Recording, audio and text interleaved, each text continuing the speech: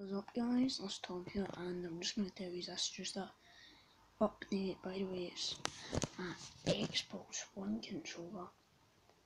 The batteries ain't working so FIFA 16 criminal to be not on the channel for a while so just like a quick wee update. So yeah see if we can get to 50 subscribers. So like, comment share, subscribe. And by the way, I got my new haircut, so just telling you guys I'm, I'm trying to see the soap back.